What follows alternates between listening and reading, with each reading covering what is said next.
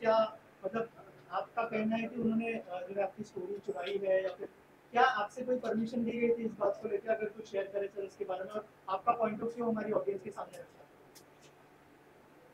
देखिए, मैं उस फ़िल्म का मतलब मैं उस स्टोरी का राइटर हूँ। तो मैंने एक स्टोरी लिखी, जिसको मैंने 2015 में रजिस्टर्ड कराया उसके बाद जो है उससे कई लोगों को एज ए राइटर डायरेक्टर मैंने पिच किया। और उसके बाद अभी देख रहा हूँ मतलब किसी वजह से वो फ़िल्म शुरू नहीं हो पाई।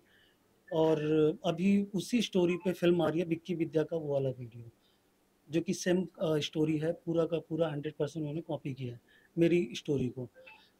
फिर हमने एक लीगल उनको नोटिस भेजा सारे production house T series Balaji वगैरह जितने लोग हैं नौ प्रोड्यूसर्स हैं देन उनकी तरफ़ से जो नोटिस का रिप्लाई आया तो उन्होंने अपना डेट मेंशन किया जिसमें कि हमारा 27 अक्टूबर 2015 को रजिस्टर्ड है।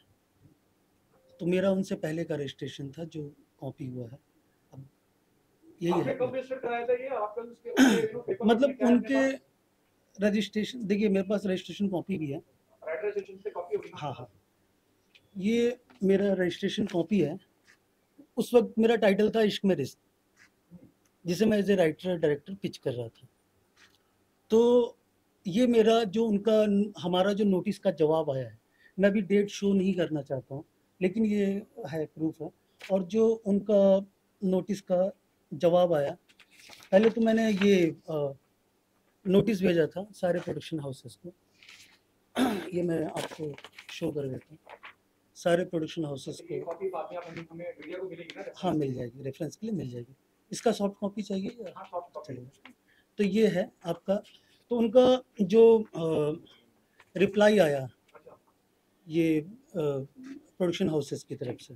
सबकी तरफ़ से आया है कि सिर्फ़ एक पर्टिकुलर प्रोडक्शन हाउस देखिए? ये जो एडवोकेट है मतलब जो ये कंपनी है नाइक नाइक तो ये उन्हीं का देखती है, बालाजी का भी देखती है, कई सारे बड़े प्रोडक्शन हाउस के देखते हैं काफ़ी बड़ा नाम है तो उन्होंने इधर अपना डेट मेंशन किया है कि इतने तारीख को 27 अक्टूबर 2015 को उनका रजिस्टर्ड हुआ था राइटर एसोसिएशन में तो मेरा रजिस्ट्रेशन इनसे पहले है।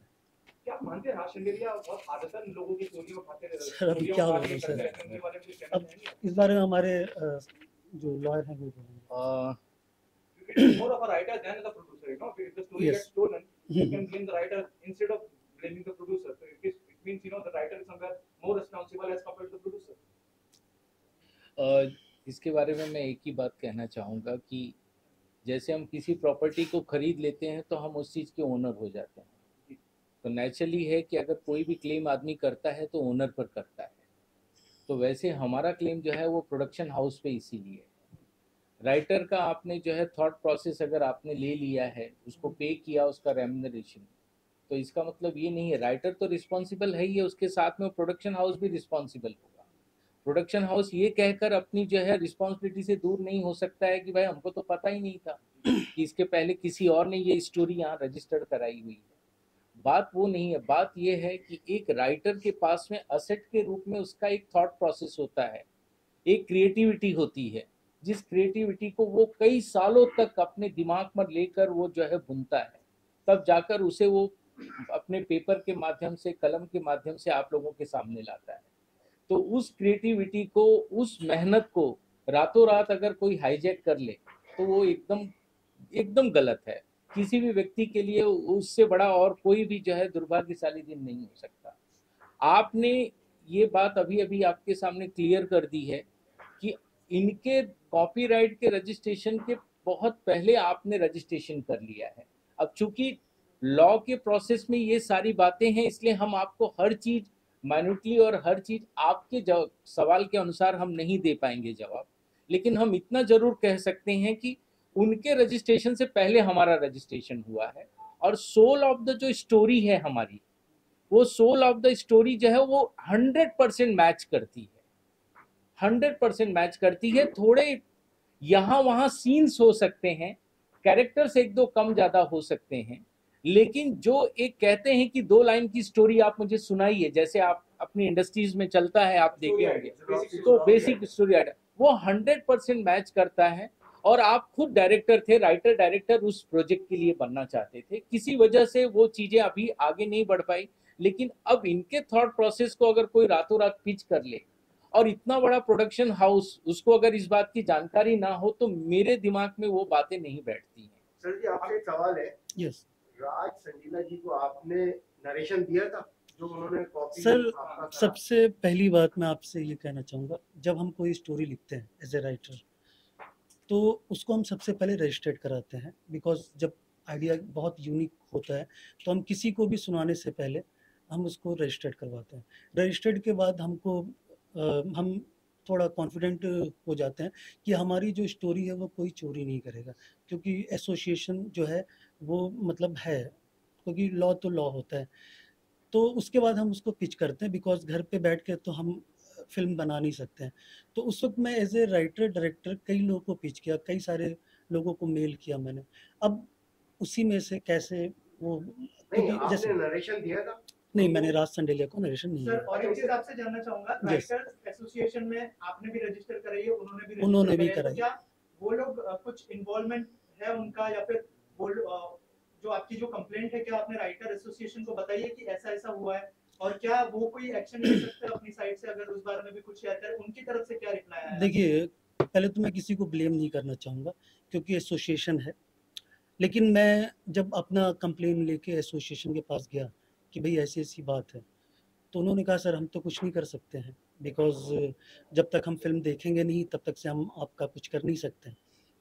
लेकिन आजकल जो ट्रेलर रिलीज़ होते हैं उसमें पूरी फ़िल्म का कहानी पूरा क्लियर करते हैं क्योंकि आजकल जितनी भी फ़िल्में होती हैं ऑलमोस्ट तो मैंने उनसे एक ही बात बोला कि अगर अ, फ़िल्म रिलीज़ हो जाएगी तब आप क्या कर लेंगे?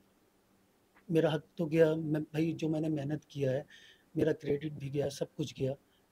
तो अ, आप क्या कर लेंगे? बोले तो अगर आपको अगर कोई एक्शन लेना है तो आप लीगल जाइए। हम लीगल जा रहे हैं।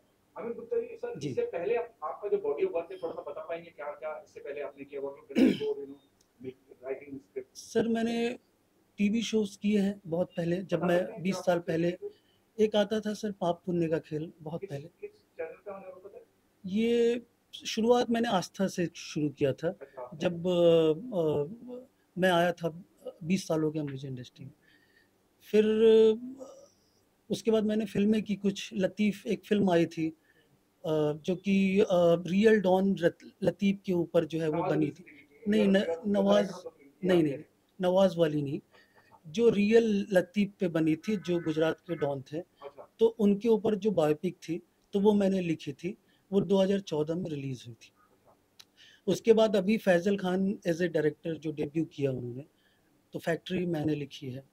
फिर अभी बहुत सारी फ़िल्में आ रही है। एक फ़िल्म आ रही है हथौड़ा जो कि उसको एज ए राइटर डायरेक्टर कर रहा हूँ मैं। अभी अ, मैंने एक सॉन्ग किया है जो 100 परसेंट बी एफ़ एक्स है वो म्यूज़िक वीडियो है जो कि शायद अभी तक इतना बड़ा एक्सपेरिमेंट किसी ने किया नहीं है।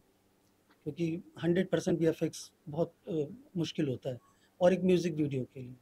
तो है सर और बहुत सारी चीज़ें हैं जो कि तो यस यस फ़िल्म अभी मेरे ख्याल रिलीज़ की कगार पे अब जैसे हो और मैं ये भी मान सकता हूँ there are legalities there are process you know there are procedure when you do. Legal things and all sir मैंने अभी आपसे कहा कि मैं एक अभी रिसेंट में एक म्यूज़िक वीडियो किया है मैंने जो जिसका पोस्ट में मैं बहुत बिज़ी था। बीएफएक्स में बहुत टाइम लग गया मुझे ढाई महीना मुझे सिर्फ़ बी एफ़ में लग गया। तो मैं उसमें बिज़ी था तो जो है चीज़ें देख नहीं पा रहा था। तो मुझसे किसी ने कहा कि एक फ़िल्म का ट्रेलर आया मेरे एक म्यूज़िक डायरेक्टर उन्होंने कहा। तो मैंने वो ट्रेलर देखा। वो जैसे ही देखा तो मुझे शौक लगा कि ये तो सब कुछ मेरा ही है। तो उसके बाद मैंने एक्शन लेना शुरू किया। नहीं बिल्कुल नहीं। सर ये पब्लिसिटी स्टंट के लिए नहीं है हम अपने राइट्स के लिए लड़ रहे हैं। हमारे साथ में कॉपीराइट्स का वायलेशन हुआ है जिसके लिए हम कोर्ट को अप्रोच करने जा रहे हैं। और जल्द से जल्द हम कोर्ट को अपनी बातें रखेंगे और हमें न्याय प्रक्रिया पे पूरा भरोसा है। सर और कोई और कोई तो रास्ता नहीं है न्याय पाने का। और मुझे पूरा भरोसा है कि मेरे साथ में न्याय होगा और मुझे अपनी जुडिशरी पे पूरा भरोसा है कि वो मेरी बातें सुनकर कोई ना कोई एक अचूक निर्णय लेंगे। सर ऐसा ऐसा कुछ हुआ है कि वो लोग आपके लिए कोई स्क्रीनिंग रखे फ़िल्म की? क्योंकि अभी सब ट्रेलर आया है हो सकता है वो ना भी हो जो आप बोल रहे हो। नहीं, आप- क्या आपने ऐसा डिमांड किया कि हमारे लिए स्क्रीनिंग रखी जाए फ़िल्म की? नहीं उन्होंने हमसे कोई कांटेक्ट नहीं किया। उन्होंने सीधा नोटिस का हमारे जवाब दिया है जिसमें उन्होंने अपना डेट मेंशन किया है। जो भी चीज़ें हैं वो आप आपको प्रोवाइड कर दी जाएगी क्या भेजा उन्होंने। तो अ, मुझे नहीं लगता है कि अभी जो है मतलब ऐसे जा सकते हैं। आराम से जैसे जो कानूनी प्रक्रिया है जैसा हमारे सर ने बोला और हमारी न्यायपालिका उन पर भरोसा है और आप भी अ, समाज का चौथा स्तंभ है। मतलब आप लोग हमारी बात ज़्यादा से ज़्यादा लोगों तक पहुँचाएँ ताकि जो है मुझे भी एक न्याय मिल सके। क्योंकि अ, अच्छी स्क्रिप्ट लिखने में अच्छी स्टोरी लिखने में बहुत मुश्किल होता है। अच्छा यूनिक आइडिया आने में मतलब बहुत वो लगता है। और अगर मेहनत जा रहा है आपका तो मतलब है। और बहुत से ऐसे लोग हैं मेरे जैसे जो लोग खड़े नहीं हो पाते हैं उनके अगेंस्ट क्योंकि सब बड़े बड़े नाम हैं इंडस्ट्री के। मैंने हिम्मत की है कि भाई थोड़ा सा मतलब चीज़ें वो हो बाकी आप लोग। लेकिन सर पूरी पिक्चर कंप्लीट हो गई। कंप्लीट होने के बाद अब आपको पता चल रहा है ये मेरा कॉन्सेप्ट उन्होंने चुरा लिया है। चुराने के बाद ये सर जब तक आपको पता नहीं चलेगा कि आपकी चीज़ें जब आप देखेंगे नहीं कम से कम ट्रेलर से आपको पूरा आइडिया हो जाता है। मैंने अभी थोड़ी देर पहले ही बोला कि आजकल जो ट्रेलर बनता है वो तीन से सवा तीन मिनट, साढ़े तीन मिनट का बनता है। तो ट्रेलर में ऑलमोस्ट स्टोरी क्लियर कर दी जाती है क्योंकि ये कैसे हुआ, बस वो ऑडियंस वो जान मतलब जानने के लिए वो देखने जाती है। क्योंकि एक्साइटमेंट छोड़ने के लिए पूरा हम ट्रेलर वैसा ही काटते हैं आजकल। तो अभी जैसे कि कोई फ़िल्म बनती है तो जल्दी उसकी स्टोरी कोई डिस्क्लोज नहीं करता। क्योंकि वो प्राइवेसी उनकी। अब उन्होंने कब बनाई, कैसे बनाई, वो उनका है सर। लेकिन मेरी, मैंने एक, लाइक एक लैंड खरीदा था, जिसमें आज उन्होंने टावर या जो भी खड़ा किया है तो वो अब किसने उनको फर्जी डॉक्यूमेंट दे के किया है, वो अलग बात है। लेकिन मेरा रजिस्ट्रेशन पहले का है तो मतलब मुझे लगता है कि मुझे न्याय मिलना चाहिए, क्योंकि मेरा चीज़ चोरी हुआ है। और चोरी जो हुआ है, वो आप समझ सकते कैसे होता है। एक चीज़ जो है दस लोग तक जाती है। आप जब कोई पीपीटी बनाते हैं प्रेजेंटेशन तो एक प्रोड्यूसर को भेजते हैं तो वो दस लोग को दिखाता है उसमें से होता है। पीपीटी में सारी स्टोरी क्लियर होती है सर सर आगे क्या एक्शन लेने का प्लान है उसके बारे में बता हंड्रेड परसेंट हम लोग जो है हाई कोर्ट को अप्रोच कर रहे हैं क्योंकि कॉपीराइट का वायलेशन हाई कोर्ट में ही जाता है। और हंड्रेड परसेंट कुछ ही हम दिनों में शायद दो एक दिनों के अंदर ही हम ये सूट फ़ाइल करके इसमें तुरंत का तुरंत हम जो है जुडिशरी से हम रिक्वेस्ट करेंगे कि इस पर वो एक अप्रोप्रिएट एक्शन लें। और अप्रोप्रिएट एक्शन लेकर इस चीज़ को क्लियर करें कि अगर हमारी चीज़ को पिच की गई है, हमारी चीज़ों को दिखाई गई है तो हमें कैसे प्रोटेक्शन मिल सकता है?